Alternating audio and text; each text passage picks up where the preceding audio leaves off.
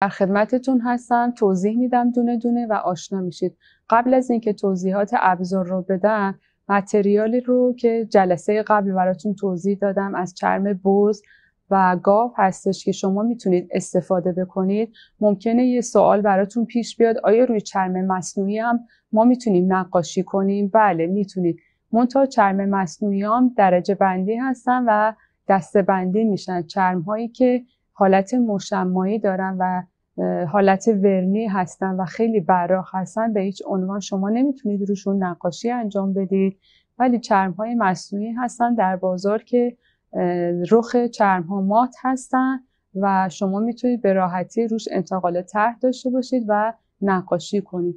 منتها توصیه که میشه اینه که شما زحمتی که دارید صرف نقاشی و اون ریزکاری روی چرم را انجام می‌دید بهتره که زمینه چرم طبیعی باشه چون ارزش کار و کیفیت و قیمت گذاری روی چرم طبیعی خیلی بهتره. شما چرم طبیعی رو سالها می‌تونید ازش استفاده کنید. یک نمونه مثال می‌زنم کیفی که تهیه می‌کنید روش نقاشی می‌کنید هم جنسیت خود کیف هم نقاشیه می‌تونه ده سال تا دوازده سال برای شما کاربرد داشته باشه. مون تا چرم های مصنوعی برای شما کاربردش نهایتا یک تا دو سال هست و پوسته میشه و به مرور زمان رخش از بین میره. اینجا آشنا میشیم با ابزار و وسایل و کاربردشون. ساده ترین وسیله که نیاز دارید شما یک مداد هست برای کشیدن طرحتون و انتقال طرح. روی کاغذ پوستی یا کاغذ کال و خودکار رو نیاز داری برای چاپ کردن و انتقال طرح روی چرمتون. اگر شما طراحی رو گذرانده باشید و دستتون خیلی قوی باشه به اتود زدن خیلی راحت می‌تونید بدون استفاده از کاربن پوستی یا هر وسیله دیگه روی چرمتون بیایید به راحتی طرح رو بکشید. ولی کسایی که مبتدی هستن و زمینه طراحی ندارن. بهتره که بیان طرح مد نظرشون رو انتقال بدن روی دونه کاغذ مثل کاغذ کال که شفاف هست. طرح رو می‌ذارن زیر کاغذ و شروع می‌کنن به کشیدن طرح. وقتی طرح مشخص شد به خاطر اینکه شما بتونید جای مشخص شده اون طرحی که می‌خواید نقاشی کنید رو روی چرخ دقیق در بیارید از کاغذ کال یا ابعاد بزرگتر از کاغذ پوستی که این هم شفاف هستش. می‌تونید استفاده کنید و نقشتون رو روی این پیاده کنید. وسیله بعدی که شما می‌تونید استفاده کنید استفاده از کاربن هستش. توی بازار کاربن هایی با رنگ های مختلف شما قرمز دارید زرد هست سبز هست مشکی هست آبی هست.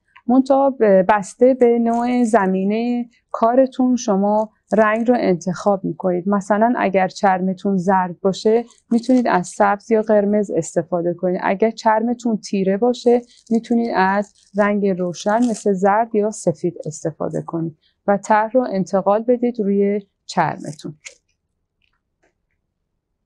خطکش رو نیاز دارید. برای کشیدن کادر مثلا شما می‌خواید یک حاشیه برای کادر مثلا کتاب یا قاب عکستون داشته باشید که طبق این کادر بیاید طرحتون رو انتقال بدید و کاتر رو داریم که زامنی داره برای بالا پایین کردن و استفاده از کاتر که معمولا برای برش چرم استفاده میشه و حتما هم از خطکش فلزی برای برش چرمتون استفاده می‌کنید و کنار خطکشتون می‌کشید.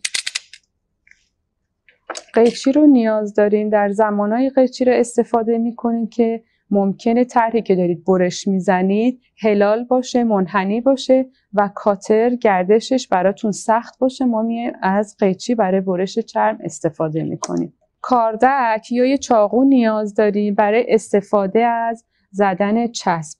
چسب کاربردش اینجا برای ساخت بوم چرمی ما استفاده می‌کنیم. شما یک نمونه بوم دارید. اگر در بازار دیده باشی بوم ها پارچه ای هستن برای نقاشی رنگ و روغن استفاده میشه. زمانی که شما دارید نقاشی روی چرم رو کار می‌کنید باید ساخت بومتونم زمینش از چرم باشه که تو جلسات بعدی با ما همراه باشید که ساخت بوم چرمی رو بهتون آموزش بدیم.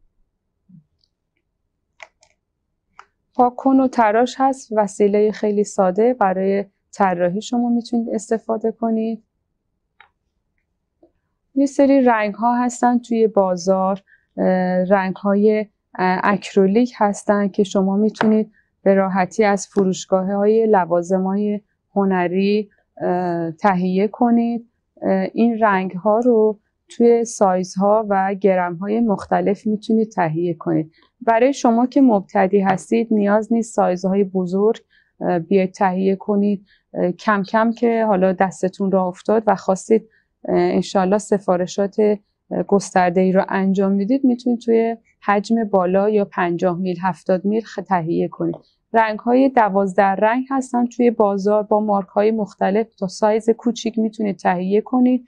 برای کسایی که مبتدی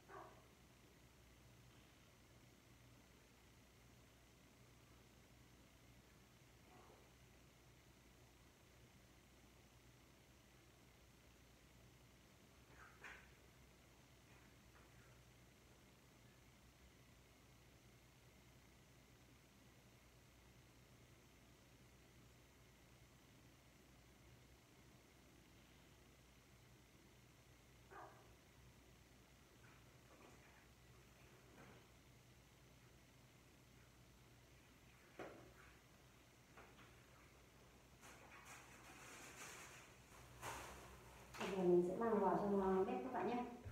Các bạn đi cùng với mình mang vào trong bếp